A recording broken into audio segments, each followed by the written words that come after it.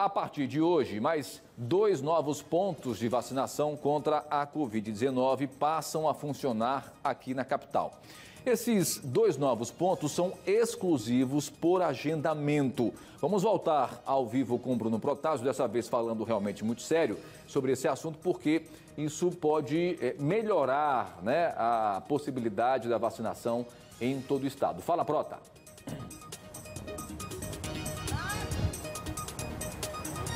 Isso, Tiago. E faltavam apenas mais dois a serem confirmados dos oito, oito que a prefeitura disse que iria disponibilizar na cidade para ampliar os locais de vacinação por agendamento. Então, um deles é onde nós estamos aqui, a Unidade Básica de Saúde Aliomar Lins, que fica no bairro Benedito Bentes e que vai funcionar também através do agendamento. O segundo fica no conjunto Medeiros Neto, no tabuleiro, é a Unidade Básica de Saúde José Guedes.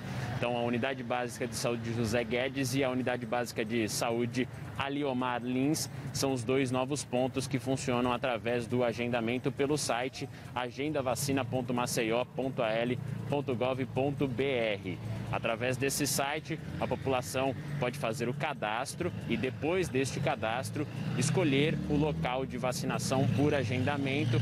São vagas limitadas por dia, mas é para ter uma comodidade maior. São novas opções no, na capital que agora chega a 16 pontos de vacinação. Os outros que funcionam por agendamento, a gente também reforça para a população, são a Durval Cortez, que fica no Prado, o segundo centro de saúde na Praça da Maravilha, no Poço, também a unidade José Maria no Barro Duro, doutor Hamilton Falcão, que fica também no Benedito Bentes, Tereza Barbosa no Eustáquio Gomes, Antônio de Pádua no Jardim Petrópolis 2, José Guedes no Medeiros Neto e Aliomar Lins no Benedito Bente, já confirmando todos de uma vez os oito pontos que funcionam por agendamento. Lembrando que os demais também estão à disposição da população, os, os pontos fixos, os drives, seguem normalmente com a demanda espontânea, que é aquela que a pessoa vai sem agendamento, se faz parte do grupo que está sendo vacinado neste momento, pessoas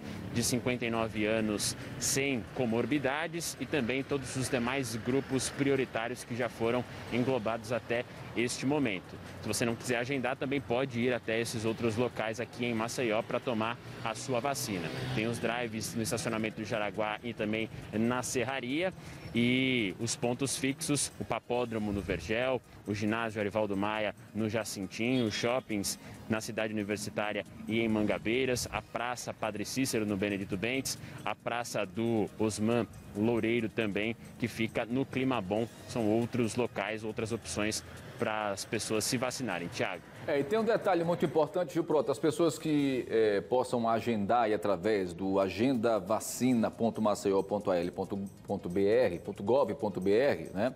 É, entra nesse site e vai ter que fazer um pré-cadastro. E aí nesse pré-cadastro tem que anexar alguns documentos, sobretudo aí comprovante de residência e se tiver comorbidade, tem que também já anexar né, o laudo médico para exatamente facilitar é, essa situação. E aí faz, aí depois disso é que faz o agendamento com a hora, uma hora marcada para facilitar para chegar. Chegou, vacinou, né, os documentos são é, é, é, verificados né, com antecedência e aí a coisa tende a acontecer ao longo do dia. Não é isso, Prota?